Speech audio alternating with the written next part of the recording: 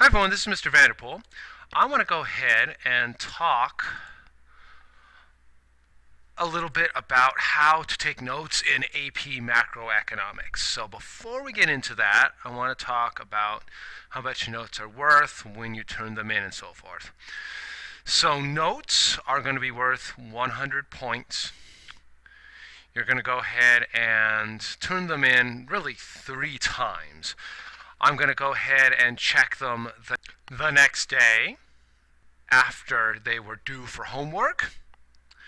Then you're going to go ahead and turn them in the day of the unit test.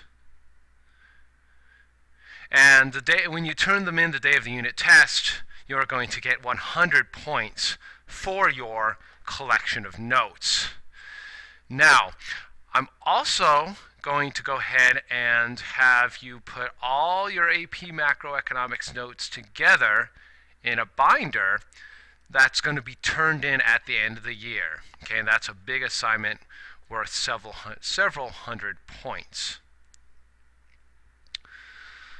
So it's very important that you go ahead and hold on to these notes throughout the entire year because not only are you going to be turning them in the day of the unit test, you're also going to be turning them in at the end of the year for um, this a large economics notebook assignment. And this economics notebook, the reason I do this uh, and require that assignment is because that is an excellent, excellent study tool for the AP macroeconomics exam. So let's talk a little bit about the structure of the notes.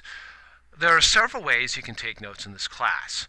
Um, if you would like, you can go ahead and just get out a piece of paper and take notes by hand.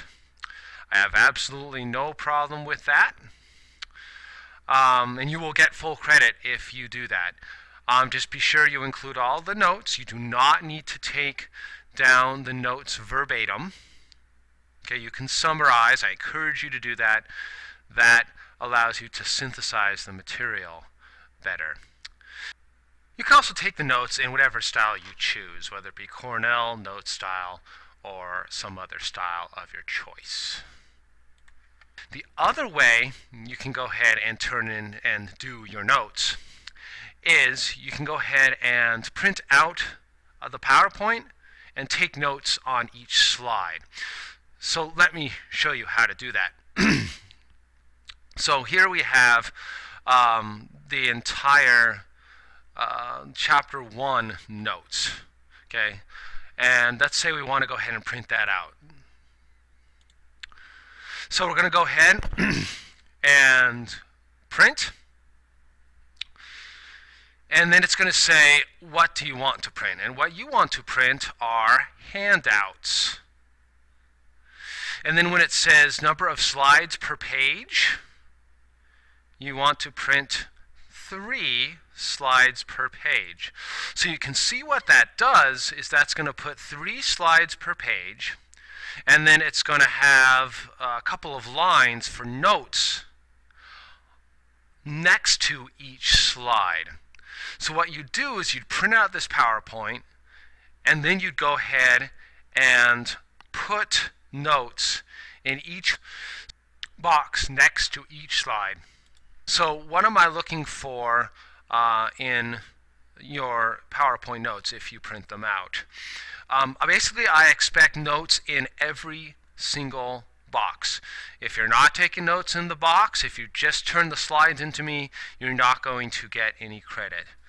Okay, um, you can summarize what you're what you're hearing on the video. You can summarize in the box. Um, you can summarize what you see um, on the slide in the box. That's perfectly fine. You can draw a picture. You can ask a question to yourself. I just want to see that you are processing the information through taking notes on the lines next to every single slide. Okay, so that's the key thing. If you want the points, you need to take notes on every single slide unless I say otherwise.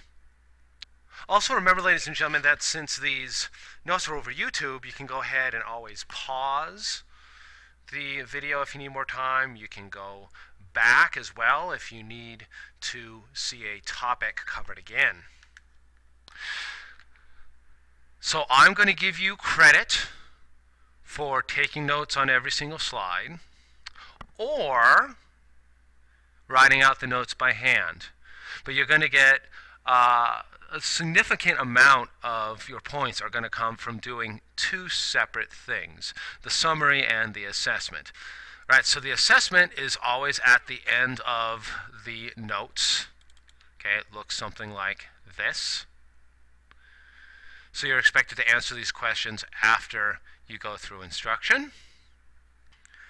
Make sure you look at my rubric on Vandernomics to see what a complete answer to a question looks like. I want you to use your critical thinking skills. I want you to use academic vocabulary. I want you to give me a complete answer to each question. And if you are uh, taking notes by hand, I want you to go ahead and write out both the question as well as give the answer.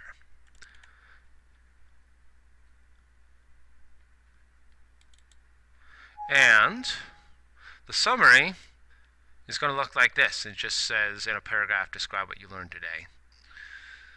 So be sure you complete the assessment. Be sure you complete the summary. The notes are not complete unless you have done the assessment as well as the summary. All right, let me know if you have any questions and we will go ahead and move on. You have a good one. Bye-bye.